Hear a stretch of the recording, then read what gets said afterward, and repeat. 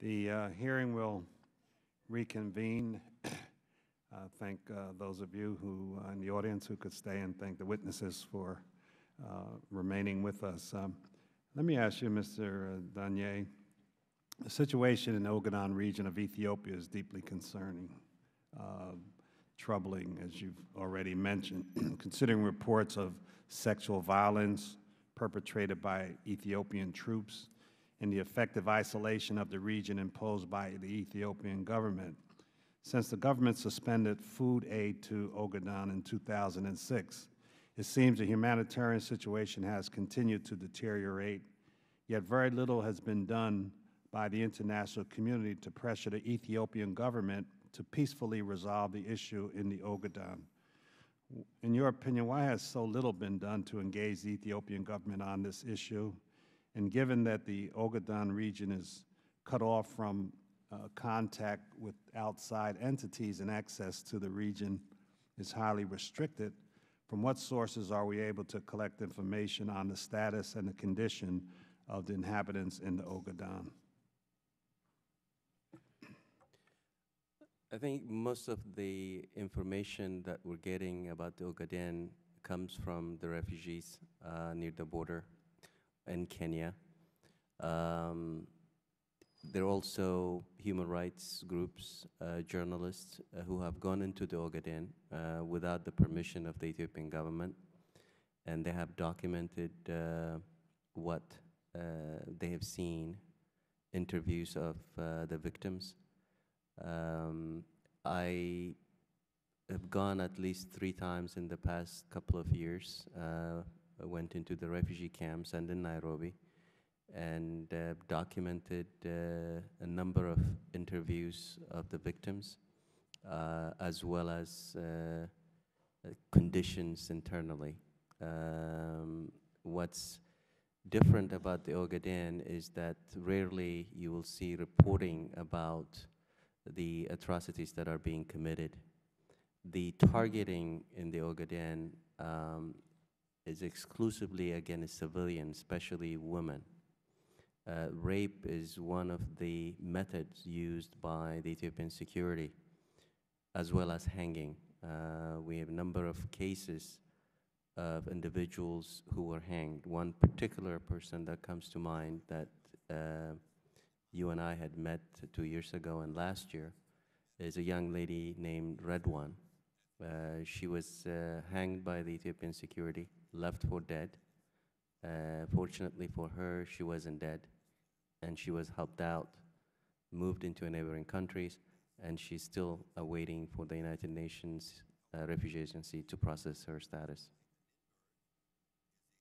Thank you. Um, let me ask you, uh, Ms. Uh, Lefkow, uh, the Ethiopian judiciary has been under severe criticism for years by some observers and opposition groups for allegedly lacking independence and effectiveness. Do you agree with this assessment and criticism? And what are the major problems facing Ethiopia's judiciary? What can, in your opinion, the U.S. do to help strengthen the independence of the judiciary in Ethiopia? I'd be happy to try and address that. May I also add a, a couple of points with regard to your question on, on the Ogaden area? Yes. Um, maybe if I start with that, um, this is a this the allegations of, of abuses in the Ogaden is, a, is an issue that Human Rights Watch has been extremely concerned about over the last three years. Um, we did a very uh, in-depth investigation in 2007 into these, into these allegations and, and documented crimes that we, in our assessment, amounted to war crimes and crimes against humanity. So these are very, very serious crimes by the Ethiopian military, to some extent also by uh, the Ogaden National Liberation Front. Uh, you know, they're, they're not uh, clean. Their record is not entirely clean either. It's, I think it's important to, to, to say that clearly. Um, but the, the, the, the, scale of the abuses of against civilians was overwhelmingly, um, for the most part, on the part of the Ethiopian military. Um, in our assessment, the uh, patterns of crimes declined somewhat in 2000, 2007, 2008, um, after the, the, the, initial campaign by the government. we've actually been doing another set of research just in the last few months on, on what's happening in the Ogaden, trying to get an updated picture of what's happening on the ground, because as you know, it's extremely difficult um, to get solid and credible information. Um, and we are very concerned about some ongoing uh, military clashes in the region and ongoing targeting of civilians. Um, another element, I think there are two new elements that we're seeing in the region. One is that the, the regional government in Somali region has established um, a new, uh, almost a paramilitary force called the New Police. And it's these forces that seem to be responsible for a lot of abuses against civilians now. So this is a new development since 2008. The other, I think, new element in, in the Ogaden area is a real expansion of oil development. We were hearing this from dozens of people we spoke to just last month um, of, a, of, an expansion of the oil uh, exploration in the area, which is having a, a kind of a knock-on effect because this is a conflict zone, and a lot of people are pastoralists, uh, nomadic herders, and they're actually not able to go to their traditional lands anymore because the oil companies, with Ethiopian military support, have actually um, seemingly fenced off large areas. So this is a, a, kind of new dynamic that we're seeing, which I think will have some serious effects on, on, on, on the ground and on civilians. Um, if I may that, just quick, On that point, do you, uh, is there the presence of the uh, People's Republic of China's military there or, or security forces armed from China since it's PetroChina that uh, is doing the exploration in the Ogaden? Um, not that we're aware of. The security forces seem to be, um, for the oil, it seems to be primarily Ethiopian military, so the, the, the National Hmm. Defense Forces. I Um, know that there several years ago, though, there was a conflict with the OLF, and I think uh, a number of uh, Chinese um, security forces were killed uh, sort of in a combat with uh, O- OLF and Chinese uh, military or par- paramilitary or security. uh, So, okay, you can go on. Thank you. Um, uh, the, the other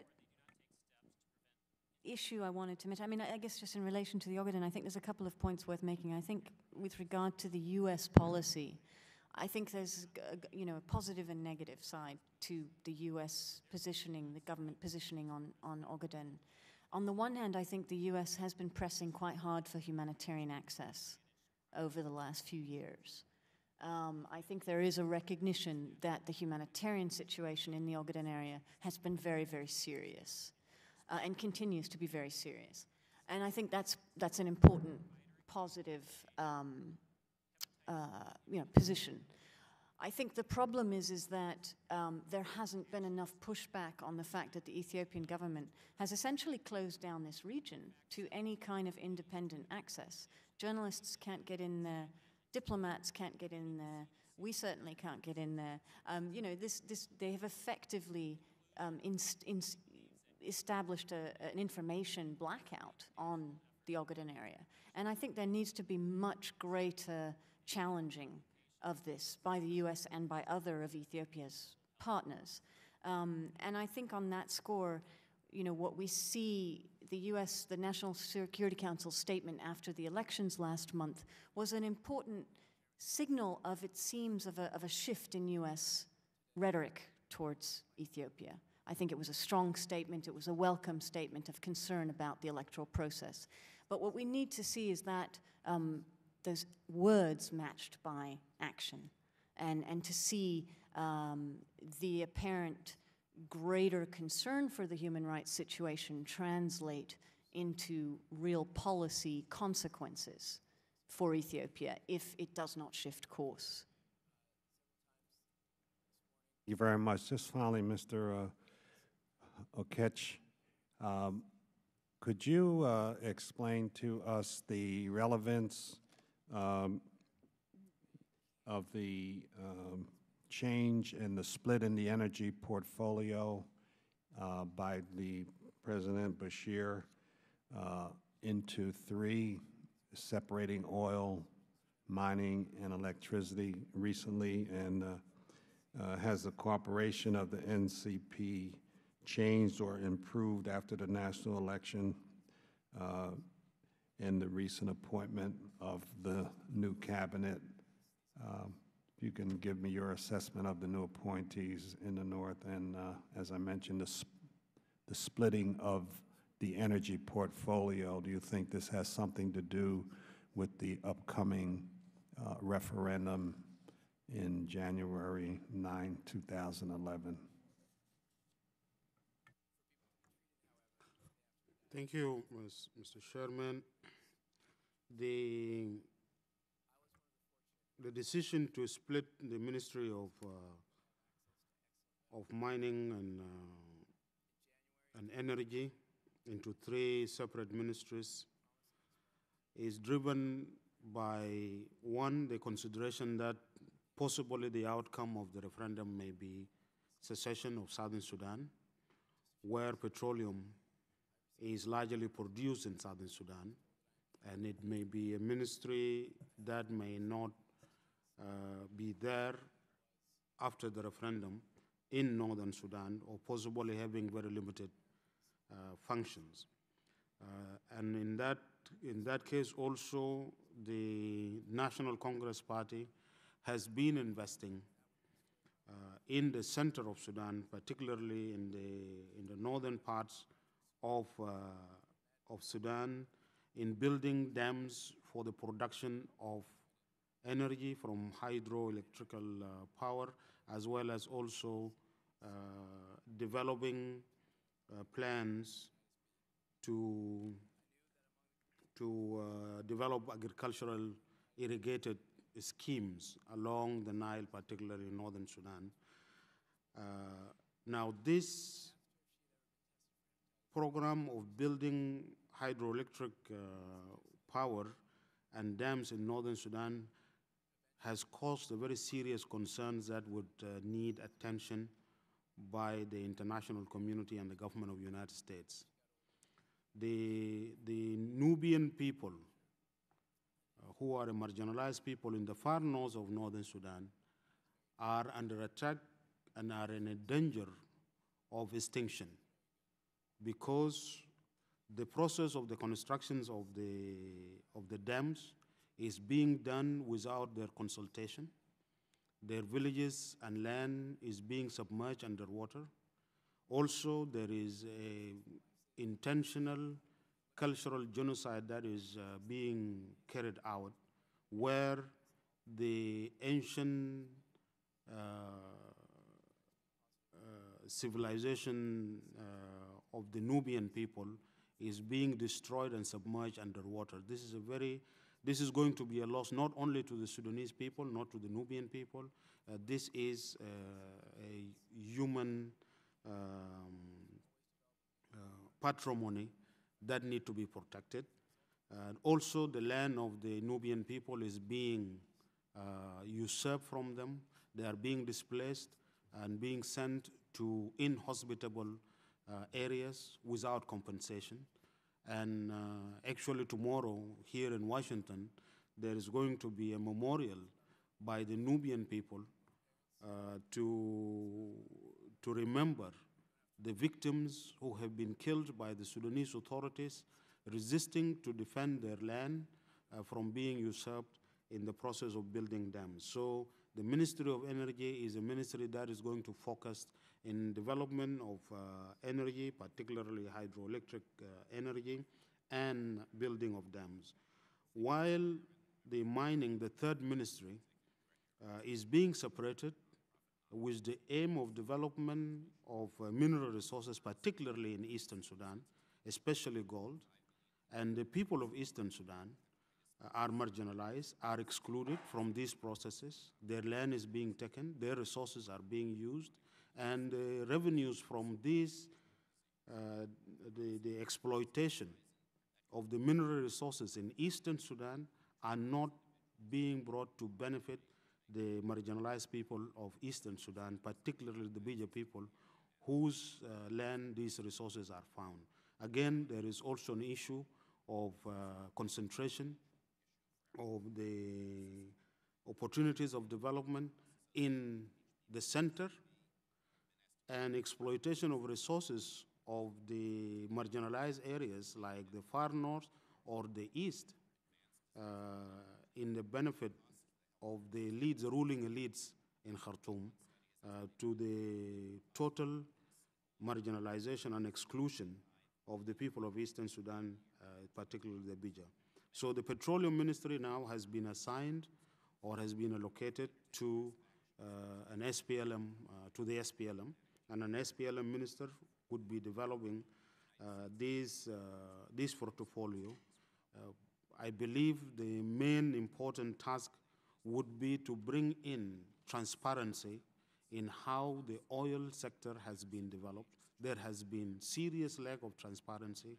The National Congress has developed this sector exclusively and in a very uh, controlled, tight uh, process, excluding the government of Southern Sudan from participating in the management of the, the, the oil uh, sector, whether in the development of the production in the fields or in the management of uh, its transport and processing, as well as in the uh, auction and sale of the Sudanese uh, petroleum. Reports, including of international independent organizations like Global Witness, indicate that Southern Sudan has been cheated for up to nearly 26% of its share, which is uh, giving Southern Sudan less than half of its uh, deserved rights. And this is a serious um, issue. With the formation of the government of national unity or the government of uh, Sudan and Khartoum, uh, definitely there is cooperation. Uh, the SPLM has uh, been allocated 30% of the, of the total portfolios representing Southern Sudan, having been the party that has won election in the south, while the remaining 70% is um, occupied by the National Congress Party and other parties associated uh, with, uh, with it or allied uh, to, to the National Congress Party. We are desirous to develop better relations with the National Congress as we manage the transition of our country in the remaining short period of the interim period, possibly to emerge as two independent states, and it is only through uh, dialogue and uh, serious discussions that uh, the parties are required to have uh, that we would be able to avoid a return to war and avoid a collapse of the peace, but achieve a transition to permanent uh, peace, even if that would mean establishment or appearance of two states. Thank you, sir. Thank you very much. At this time, before I turn over to the ranking member, let me recognize in the audience the Honorable uh, Asha Abdallah, Chairperson of the Somalis Women's Parliamentary Association. Uh, would you stand, please, and be recognized? Thank you. We're very pleased to have you with us here. Mr. Smith. Thank you, Mr. Chairman. Uh, Ms. Aden and um, Mr. Menkhaus, could, you tell us, do you believe that the United States is doing enough with regards to Somalia, resources, policy-wise, and the like? Ms. Aden? Uh, thank you.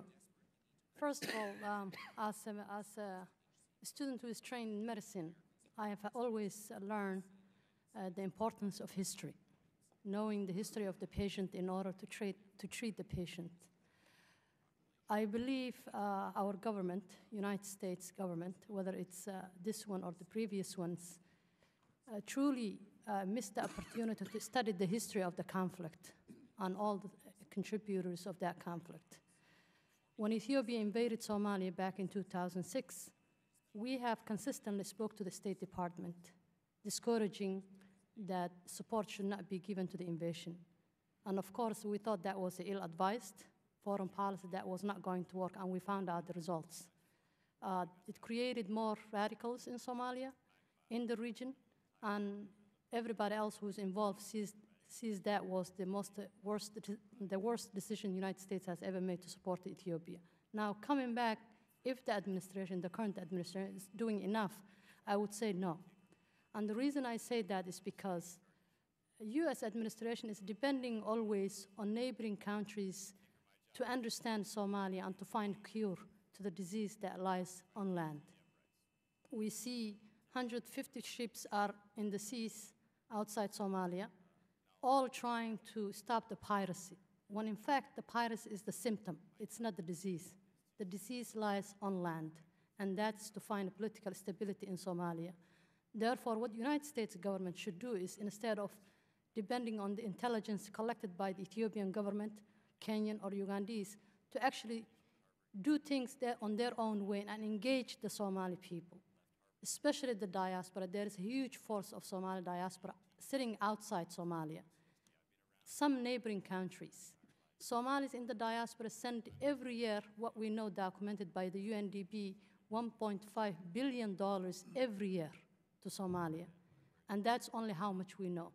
They sustain Somalia plus the resilience of those inside. So what the US needs to do is to empower what exists, because I don't believe in an anarchy. Most of us who advocate for change believe in that. Build on what exists. Let's not make the same mistake that we made with Islamic courts when we destroyed them, because we had an opportunity there to build on it. There are safe regions in Somalia, in the northwest, northeast. Let's have reconciliations supported by United States government and allies, and hold a serious and genuine reconciliation that's holistic, that includes all the stakeholders, and hold it inside Somalia, the safe areas. And most of us have been proposing lately, lately in different forums to have the next reconciliation, which is the last, the most holistic, hopefully the most productive, and the only one that's needed from here on forward, hold it in Hargeisa. Why take it outside Kenya? The people in the Northeast and Northwest need the funds that we spend outside trying to reconcile these people.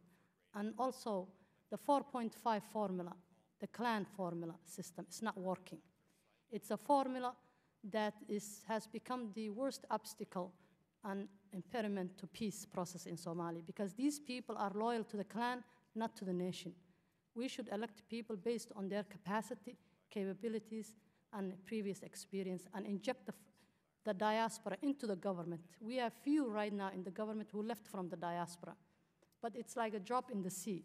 We need to have more, maybe flood more of the diaspora into the government and hopefully have them change to create, uh, create the change that we need with the help of their nationalities like the American citizens who went back.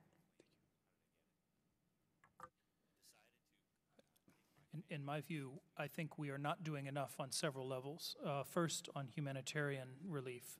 Somalia is the site of the worst humanitarian crisis in the world. Historically, the United States government has been extremely generous. Uh, it's been a leader in the provision of humanitarian assistance to those in need. But because of the suspension uh, of, of food aid that is, there's a debate right now as to why WFP and others have suspended their activities in south central Somalia. Uh, on the one hand, it's because of insecurity uh, from Shabab and other groups. On the other hand, it's the concerns about the, the Patriot Act and OFAC uh, and the liability that Americans and organizations might have if substantial benefits accrue to a terrorist organization from, from our assistance. Um, we need to grant a waiver uh, to those organizations uh, the way that we have in, uh, for organizations working in areas controlled by Hamas and Hezbollah. Um, that would be not only an important way to uh, remove one of the hurdles to resumption of humanitarian aid, it would also put all of the burden on Shabab. When Somalis ask the question, where is the assistance? We're in huge trouble now. It's the hungry season, there's no food aid. Um, we need to make sure that they understand exactly who the obstacle is. It's not us, it's not the Treasury Department, it's Shabab. I think we can do that. I think that we can do that with enough guarantees that the aid will not substantially benefit Shabab. I think it's, it's low hanging fruit. Uh, for us. Politically, another set of low hanging fruit is engagement. We do not have enough uh, people in our embassy in Nairobi engaging on Somalia. The State Department will be the first to tell you that, um, USAID as well. Um, we need a full court press of engagement across every spectrum of Somali society. Right now, um, we have very limited uh, opportunities to dialogue with Somalis in civil society, in business, in politics, in religion. Um, the, we're actually losing a public relations battle with Shabab, which is doing outrageous things in the country, banning the viewing of, of World Cup soccer matches. Um, how that's possible, I don't know. We need to be able to take control of the narrative. There's so much that we're doing that is positive. There's so much that Somalis do like about the United States. And I think one of the things that we could do much more um, is people to people development and diplomacy. That's one of our great strengths around the world. The amount of foreign assistance that isn't necessarily official, it's unofficial. Um, sister city programs, all kinds of opportunities are out there for the American people uh, to engage with Somalis so that they start again to see us um, as they once did, which is the land of opportunity um, and a source of freedom and development. Thank you so much. Let me just, because we are running out of time, I have a number of questions, but we have another set of votes. Uh, on Eritrea, the International Religious Freedom Act um, designation of country of particular concern. Again, Eritrea has been named a, a CPC country. This week, Eritrea became a tier three country on its violations of human trafficking, particularly as it relates to labor trafficking. And a number of important recommendations have been made by the U.S. Commission on International Religious Freedom about going beyond the 2005 action, which was just to prevent the sale of defense articles to Eritrea, uh, including, and I think one of the best is would be targeted sanctions against individuals and institutions identified as responsible for or complicit in serious human rights abuses. I was wondering, either now or for the record, if any of you had any specific thoughts on uh, I mean, we need, it would seem to me, two terrible designations, CPC, Tier 3, religious freedom, human trafficking, and all the other problems Eritrea has. Um, we need to take it to a new level, I would think. But what's your views?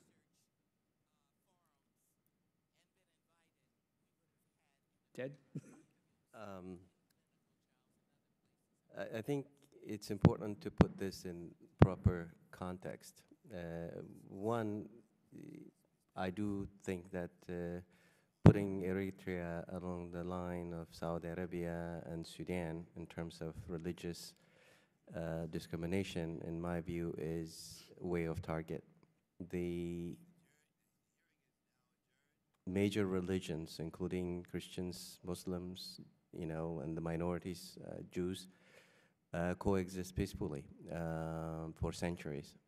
And uh, yes, there's been a problem registering uh, the evangelicals in particular in Eritrea.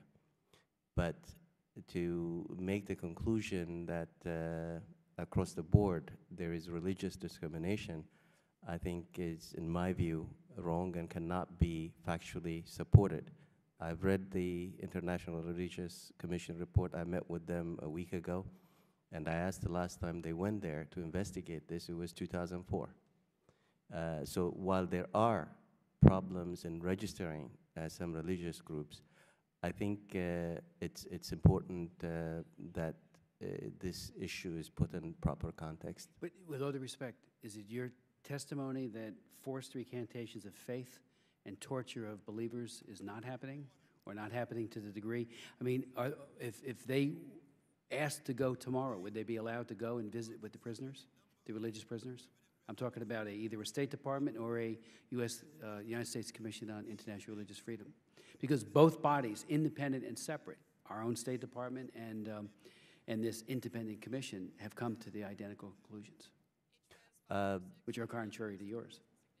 my investigation, my research, and I've been to Eritrea more so than those who had claimed to have been there to do this report, is that uh, yes, there are people who've been detained and arrested by the Eritreans, but I have not witnessed, heard, or saw any credible evidence to show me that religious leaders have been tortured.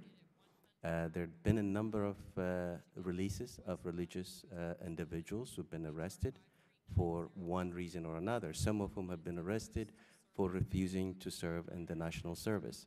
Some have been arrested for meeting according to the government rules and regulations illegally. Um, but I'm not here to say that there are no discrimination, there are no arrests. Yes, uh, there have been deliberate delays and denials of registration of religious groups.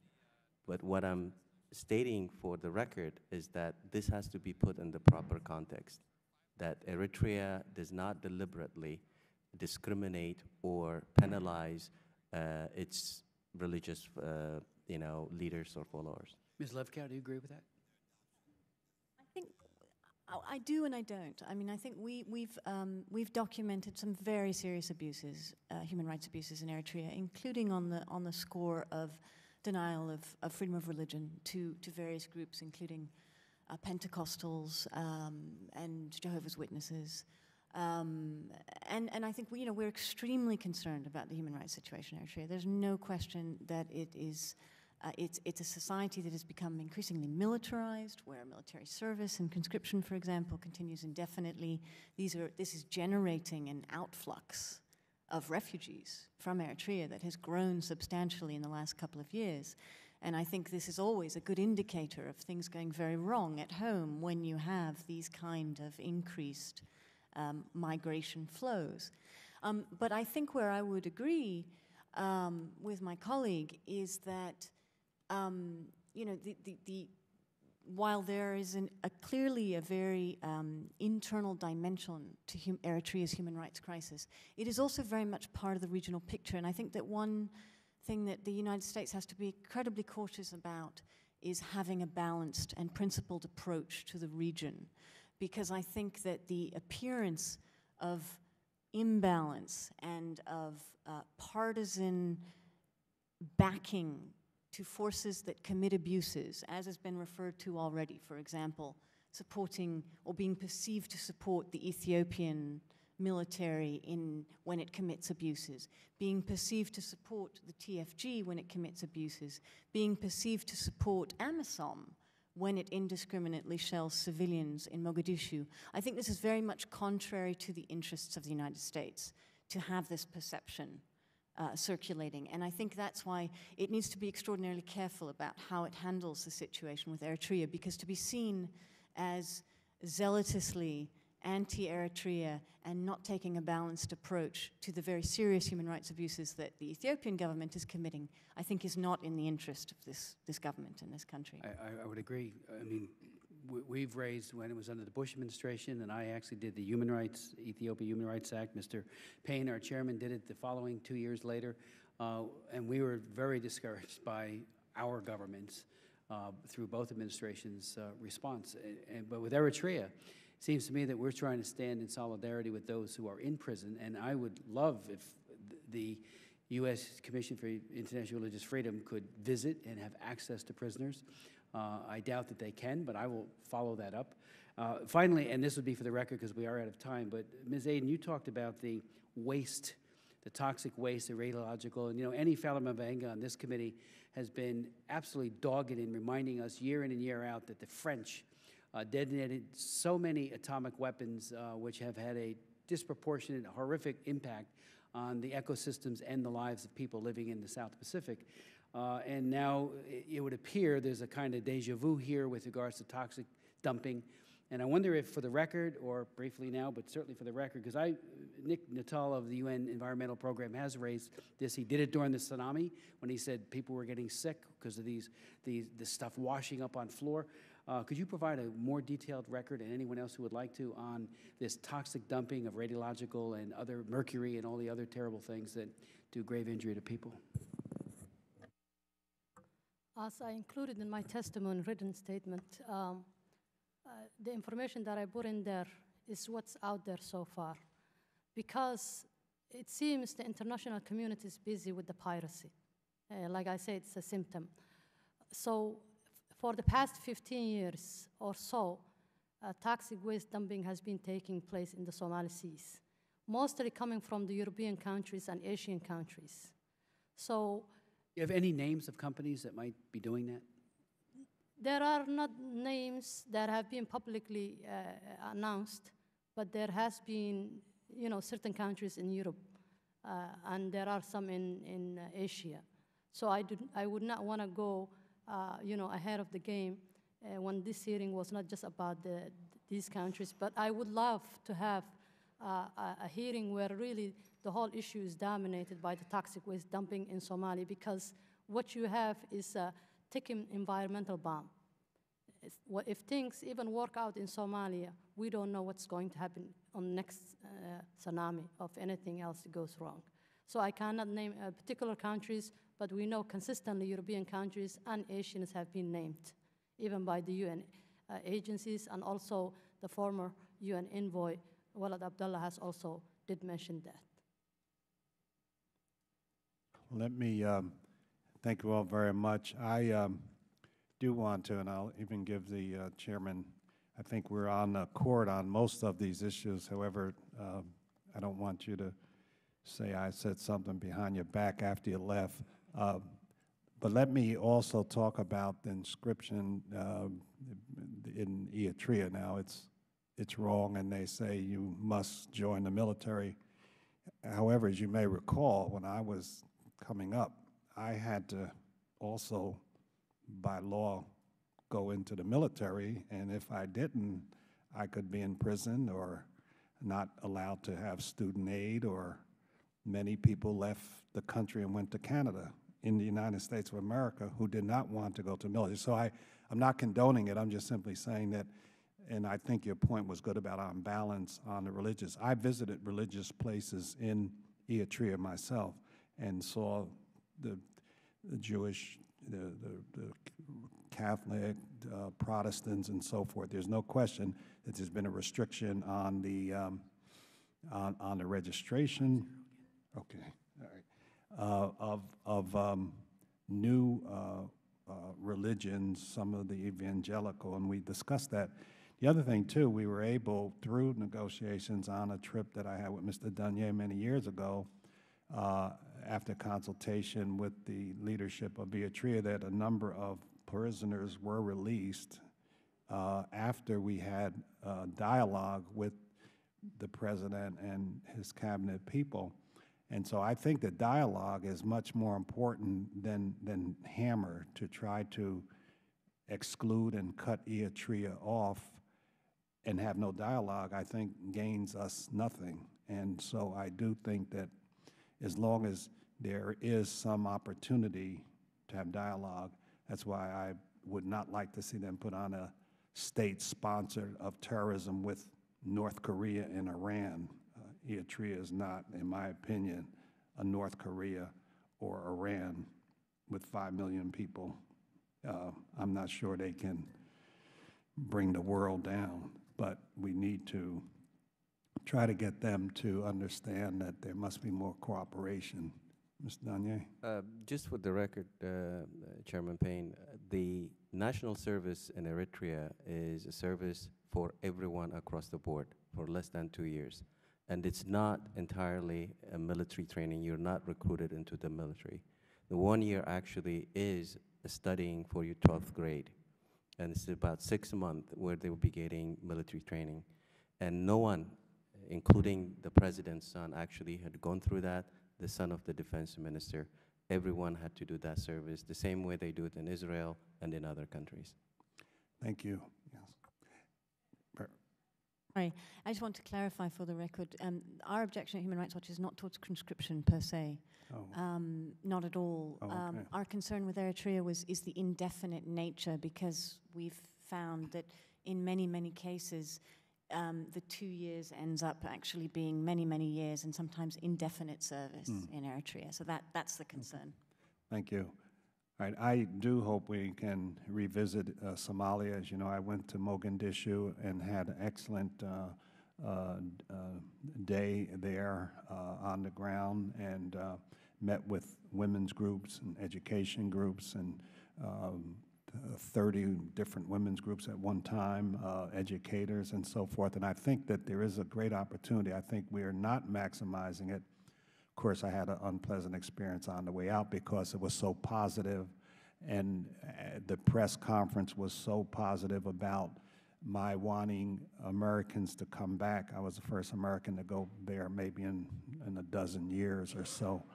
Uh, Al Shabaab uh, shot missiles at my plane on the way out. However, un- f- f- well, fortunately, they didn't they didn't succeed. But I think it was a desperation because they don't want people to come in because they they thrive when others stay out. So I hope that we can have enough security so that we can get the EU and other uh, uh, Americans to go in to work with, uh, with the fledgling government. Um, I will, and now, since I must get over to vote again, but the one thing I wanted Mr. Smith to hear, uh, but I'm sure that it, staff can relate it to it, that we looked at the language in the Constitution, and the draft Constitution of Kenya says that abortion is not permitted unless, in the opinion of a trained health professional, there is a good need for emergency treatment or the life of the health of the mother is in danger. So to say that uh, the new Constitution will allow abortion on demand is totally incorrect. It does not say that, and people continue to say that, but it is not correct. Abortion is illegal in Kenya. This reaffirms the current Kenya Penal Code. It does not change the Penal Code, and outsiders are going in and reinterpreting what it says. It says that abortion is not permitted unless, in the opinion of a trained health professional, there is a need for emergency treatment or the life of the health of the mother is in danger, period.